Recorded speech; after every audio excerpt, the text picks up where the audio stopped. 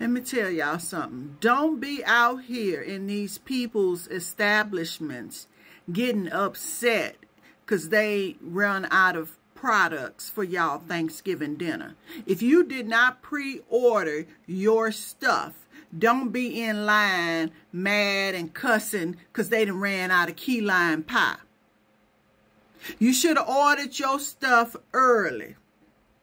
And then don't get your butt up to the front of the line and look around like you suspicious. Talking about, let me get all those oatmeal cookies right there. Bitch, other people want an oatmeal cookie. Don't be coming in there hogging all the products if you didn't pre-order. So I did. I called old chick out. I say, don't be up here buying all the damn cookies and you see other people in line that might want a cookie. Uh, uh, uh, uh, well, okay, uh, well, let me just get da da da da da da da. And then when she paid to me, I left you some cookies. I don't even want no damn cookies. It's the principality of the damn thing. Get your greedy ass out the way. I can't stand people. Then one lady, she really was mad about the key lime pie, and they actually had her pie in the back. But she up there fussing and cussing because she ain't told the lady who she is or, you know, the right information.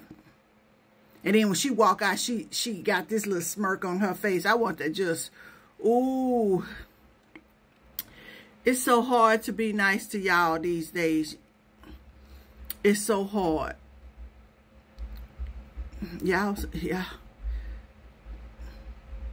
And this driving. Don't be out here trying to run over people.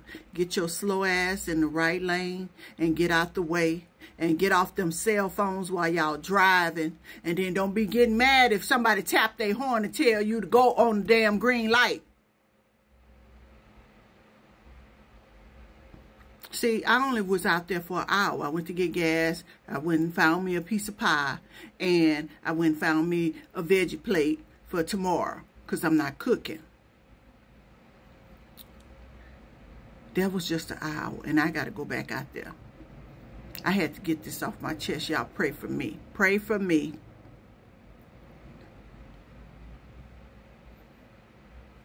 Y'all better do right. Do right.